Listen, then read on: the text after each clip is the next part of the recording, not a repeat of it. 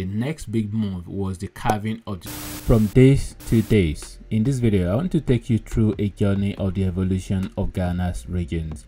Here are the current 16 regions of Ghana, but how did Ghana arrive here? The Republic of Ghana is named after the medieval West Africa Ghana Empire. Ghana was formerly known as the Gold Coast. The name Ghana was adopted when Kwame Nkrumah declared the country's independence from Britain on the 6th of March 1957. The region of modern Ghana has been inhabited for several thousand years before colonization by the Europeans. The inhabitants were renowned for their wealth in gold, the opulence of their court, and their warrior skills. They were also masters of the trade in gold. A large part of West Africa was named Guinea as can be seen on this map and also the Europeans named subsections of the areas based on the commodity they trade. Sadly, slave coast was included.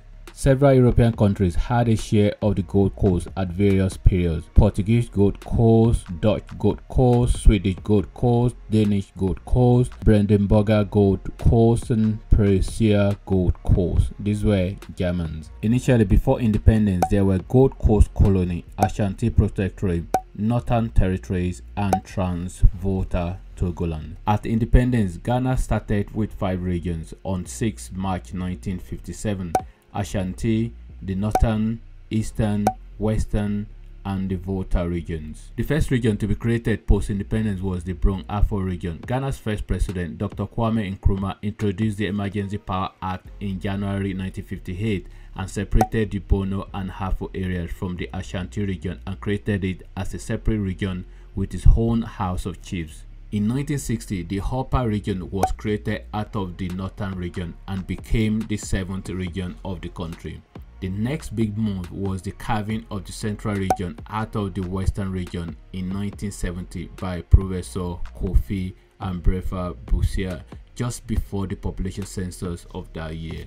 The history of the Greater Accra region is interesting. For many years, it was part of the Eastern region and referred to as the Accra Capital District. It was administered separately from the other part of the Eastern region and the Minister of Local Government was responsible for its administration. President Rawlings in July 1982 by PNDC Law 26 gave former status to the Greater Accra region which he created out of the Eastern region with this move, the number of regions had increased to 9. In 1983, the upper region was split into two, with one part named the Upper East and the other named the Upper West region. For the next 35 years, Ghana maintained the 10 regions until 2018 when President Nana Akufo-Addo created 6 more through a referendum. Oti was carved out of the Volta region. Western North came out of the Western region.